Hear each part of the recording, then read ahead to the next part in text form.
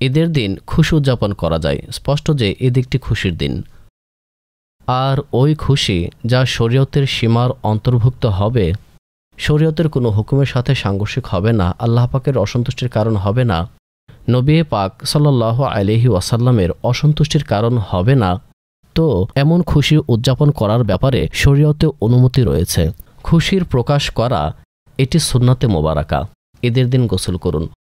উত্তম ও নতুন পোশাক পরুন। ঈদের দিন আংটি পরা মোস্তাহাব। তবে আংটির ক্ষেত্রে এ বিষয়টি স্মরণ রাখবেন, পুরুষ শুধুমাত্র ওই আংটিই পরতে পারবে যা রূপার তৈরি হবে এবং সাড়ে চার মাসার চেয়ে কম হবে।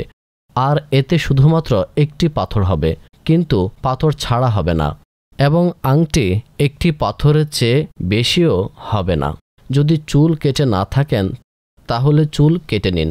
চুল ইত্যাদি কেটে নিন এটিও মুস্তাহাব। নখ কাটা, এটিও মুস্তাহাব। ঈদের নামাজের জন্য এক রাস্তা দিয়ে যাওয়া এবং অন্য রাস্তা দিয়ে ফিরে আসা, এটিও মুস্তাহাব। নবী পাক সাল্লাহ আলহি ওয়াসাল্লামের পদ্ধতি।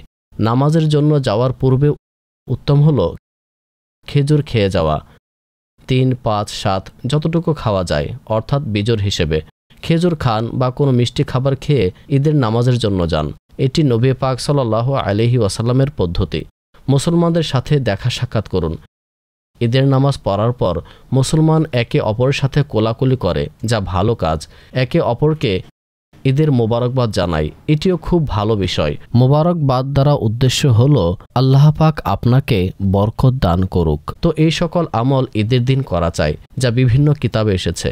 এছাড়া গুরুত্বপূর্ণ বিষয় হল, ঈদের দিন আল্লাহ আজাল এবং তার রসুল সাল্লাহ আলহি ওয়াসাল্লামের বিধানাবলী ভোলা যাবে না। তা অন্তরে স্মরণে রাখা আবশ্যক করে নিন। ঈদের দিন কিছু না কিছু কোরআনে মাজিদ, ফুরকানে হামিদের তিলাওয়াত করুন। ঈদের দিন নবী পাক সাল্লাহ আলিহি ওয়াসাল্লামের উপর অবশ্যই দুরুদে পাক পাঠ করুন। ঈদের দিন নিজ পিতামাতার সাথে, নিজ আত্মীয় স্বজনের সাথে সদাচরণ করার জন্য, সুসম্পর্কের জন্য অবশ্যই সাক্ষাৎ করুন।